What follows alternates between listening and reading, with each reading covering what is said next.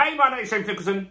In this video, let's talk about are interest rates going to drop in 2024? When are they going to drop? How far are they going to drop? And what's the forecast looking like a little bit further out than from that? Now, there's a company called Capital Economics. They are forecasters and they have come out with some data today which will really give you an indication and an idea of where things may end up and what we should be looking at in order to make decisions on that hit us on what interest rates we should fix and stuff like that.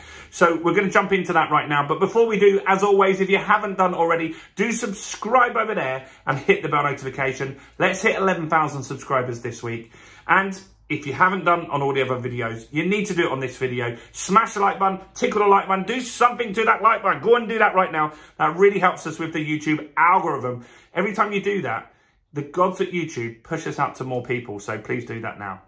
So, interest rates. What's the problem? Well, the problem is inflation. It's still really high in this country. We had inflation at over 11%, and now it's sticking at 6.7%. Not good. We were expecting it to come down this month. It didn't. It wasn't expected to drop much, but anything would have been good. It didn't happen. That's the problem that we've got here. So what happens in that situation is the Bank of England is now having to consider, do they put interest rates up next week or do they pause again? Now, the consensus is that they probably will pause again. And if they do put interest rates up, that's going to be a real shock for a lot of people. So this year in 2023, it's very unlikely that the Bank of England base rate will drop at all. With regards to mortgage rates in 2023, there is some com competition now. Banks are trying to hit their final quarter targets. They're trying to lend more money and you're seeing different banks vying for that top spot. We had TSB that did some great deals a couple of weeks ago. We've now got Santander that's beating that deal.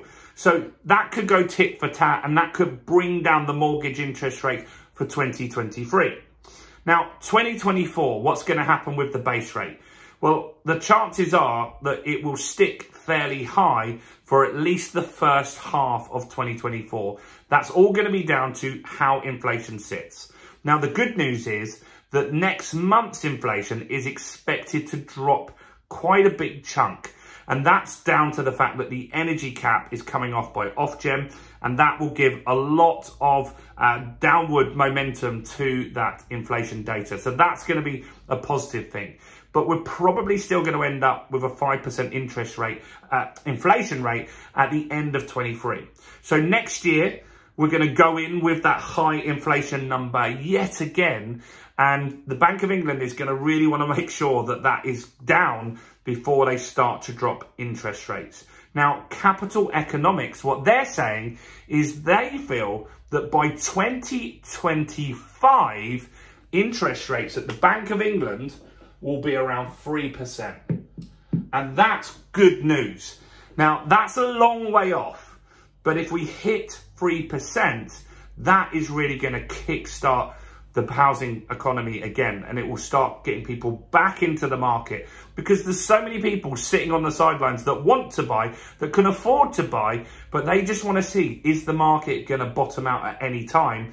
And when are the interest rates going to become more reasonable? So that's interesting that they feel at 2025 that we'll hit that level. So how do we get to this 3% number by 2025? Well, the back end of next year is when most people start feeling that interest rates will start to come down. The Bank of England base rate we're talking about here.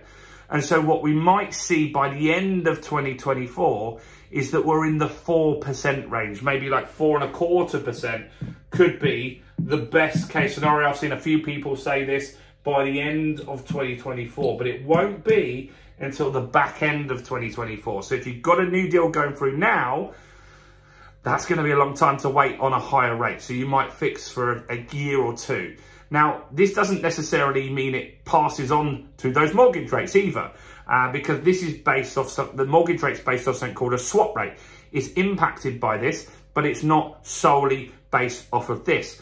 But I think it's highly likely that it would be. I think that the mortgage lenders, They want to lend more money. Foxtons this week came out and said their sales are down 25%. Initially, a few months ago, it was 15%.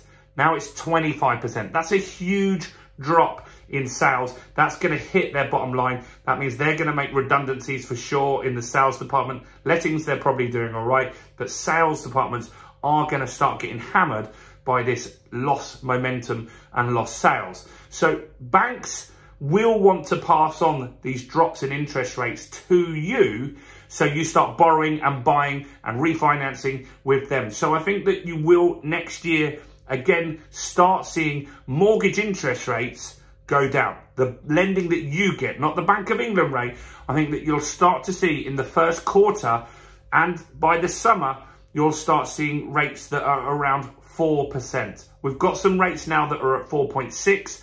I think that you will get lending at around 4% by the summer next year. Now, to get those rates, I think you'll have to have a good deposit, around 40%, 25% would probably be the minimum on that for sure. And that also, by then, house prices will have dropped a little bit more. Maybe they've gone down by 5% at that time.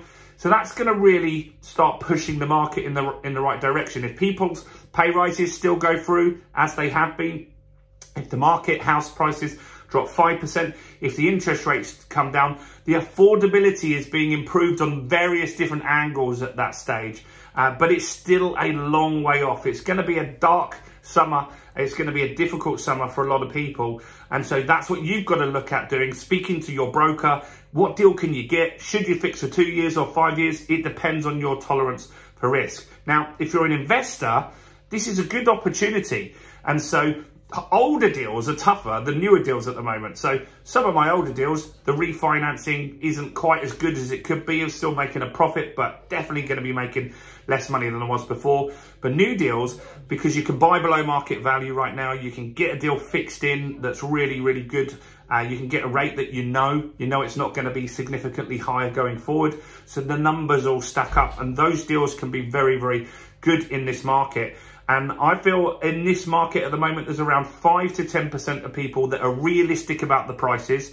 And the rest of the market, they're still holding out, hoping that the market doesn't crash. Some people just need to sell. And so if you go to agents, you go to auctions, you look at off-market deals, we talk about all that stuff on this channel, then you can find some very, very competitive deals at the moment. And those are the deals that, looking back in hindsight, that you'll be like, I wish I got more of those. And, and, and that's what we always do. In 2008, I didn't buy enough properties. I wish I did. Uh, it's a big regret. And this time, I'm not going to make that mistake. I'm going to be looking for good deals that stack up and putting them on some fairly longish rates that I just know that will give me that momentum whether the market goes up or down and there's still cash flow. That's the key thing here. Uh, and so mortgage rates, the answer to the question is they will start dropping, I think, next year uh, and that will be what you want to look out for. Let me know your thoughts. When do you think they're going to drop? Uh, do comment below. Do smash the like button. Subscribe. Why don't you go and check out this video right here.